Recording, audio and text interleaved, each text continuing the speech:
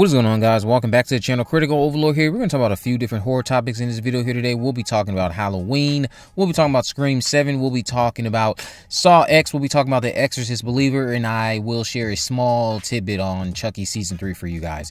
So starting off with Halloween, the Halloween 4 Legacy sequel that I know some of you diehard Halloween 4 fans like myself would love to see, but we have another disappointing update on a possible Halloween 4 Legacy sequel. Last month I told you guys it was unlikely that would happen because there was an alleged feud that currently existed that could have simmered down by now between Danielle and Malek Akkad, and that feud was coming from Danielle's remarks about her interaction with Jamie at the Halloween Ends premiere and how Jamie was rude. Akkad didn't like her trying to apparently make that situation about herself because that was Jamie's night, and apparently her insistence on the sequel route is annoying to him.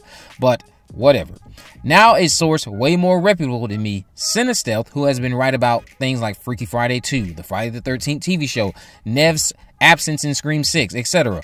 They've previously said that Akkad was taking pitches, and now they put out a tweet, which I'll link below in the description, saying that Akkad's next Halloween project is not a requel to H4 with Danielle Harris. So unfortunately, that's two strikes now for me because the chances of that happening are just sadly dwindling. I think the best bet besides doing something like that would be keeping Michael Myers, telling a whole new story that includes Dr. Loomis and new targets in Haddonfield, and maybe leaning more into Loomis being Michael's rival this time around as opposed to how we've been leaning into Michael and Laurie.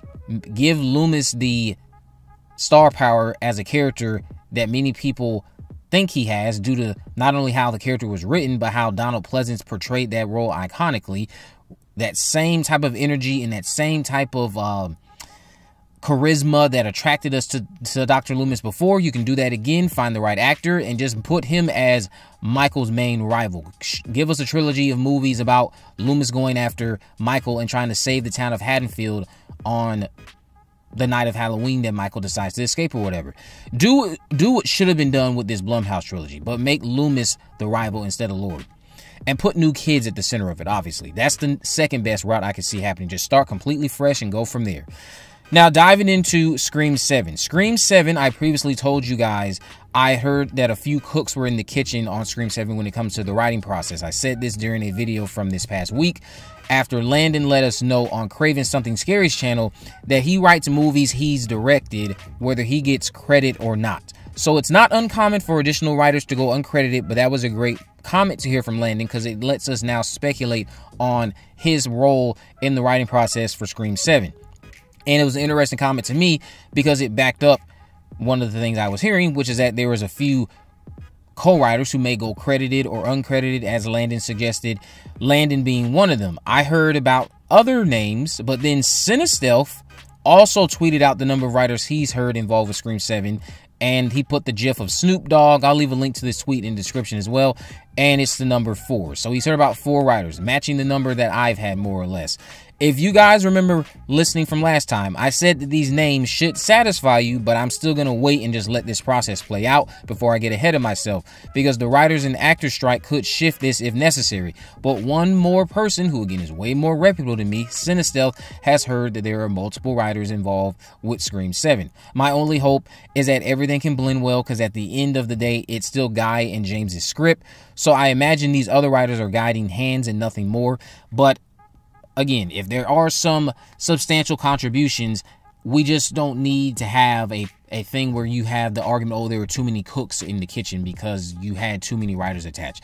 Obviously, four writers can end up creating something special, or four writers could end up in a mismatch where things could be heading heading in one direction, but then you can clearly see the influence of one writer taking it in this direction. Maybe won't mesh well when it comes on screen. So hopefully everything works out in the writing process of Scream 7 diving into Saw X. Producer Oren Koules uh, had some interesting comments, according to Saw Space, who has been tweeting out more of these interesting comments related to Saw X, stating that this is the first time in many years we've just called the movie Saw. It's not Jigsaw or Spiral, it's just Saw. It's Saw X. Um, and we bring the audience back to the beginning of Saw and what they fell in love with. We've been working on Saw X for almost seven years. Audiences have been telling us that they wanted a Saw film in which John Kramer was key to the action and at the story center. This is the first time you see him setting things in motion, then executing his traps. We got a clip also of the eye vacuum trap with a custodian character who has sticky fingers, according to John Kramer's iconic voiceover, and he needs to turn this dial to five positions to live.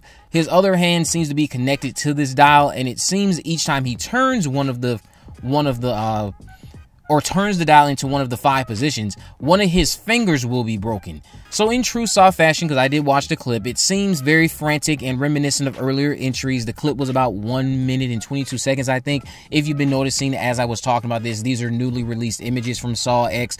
I cannot wait to see this movie next week. I don't know if I'll actually get to see it early. I haven't had anything sent my way. If I don't get to see it early, not a problem. I'll go see it. I'll put up my review when I get to see it. Uh, jumping into The Exorcist Believer. The Exorcist Believer, again, that film is coming out in a few short weeks. I just got my invite. I'll be seeing it on October 3rd. The embargo lifts the next day on October 4th at 11 a.m. Eastern. So I'll have my review up at 11 a.m. Eastern the day after I see it. But recently, one of you guys tagged me in an image on Twitter and if you don't want to know any significant spoilers, click a wave. I don't really think this is that big of a deal. That's just my perspective. But again, everybody's threshold is different. One of you guys tagged me in an image of Chris MacNeil laying in what I can only assume is a hospital bed or some other location where she has bandages over her eyes. So for everyone thinking that that was an hallucination from that trailer, no, it was not. She most definitely lost her eyes, and I know a lot of you who knew about this came to me and were like, "Oh my gosh, I can't believe you were right." I was trying to tell people that they are wasting her characters. Not necessarily because her eyes have been gouged, it's because of the methods behind how she ended up in this predicament and the fact that a lot of characters who you will be able to argue once you see the movie like me are way more useful. They're being dumbed down so that Chris can have screen time.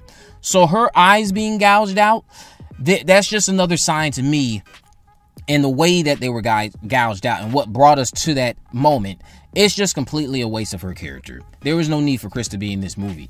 Uh, her eyes being gouged, while that's not the sin itself, the sin itself is in what got her to that moment. And it's something that's very stupid. A lot of you have called her a stupid expert. She's not the expert that they're propping her up to be. If anything, she's an inferior expert who was written in a forceful way while everyone else around her that you will get to meet and find out secrets about, they were far more useful, but they had to dumb them down so that Chris could have some screen time. It's a very unfortunate reality. Now, last thing I want to talk about is Chucky season three. Chucky season three, yes, you will have references to GG. For everyone that keeps asking me that, GG will be referenced in these first four episodes, and I will also add this. The episodes themselves are around 42 minutes to 45 minutes long, for those of you wondering about that. But the GG reference, I want to say, is very minuscule. It's not anything significant. And I will also say this you will get to see cameos, but temper your expectation for those cameos. They're big for certain reasons, but you'll find out what that means when you see the see the series. Let me know what you guys think about this down in the comment section below. If you haven't already, of course, make sure you subscribe, turn on post notification, and miss video in the description. I have links to my social media accounts. I'm on Facebook, Twitter, and Instagram. You can message me there, of course. Let me know any movies, news, or reviews I made to cover in the future. And with all that in mind, guys, I will see you in the next video.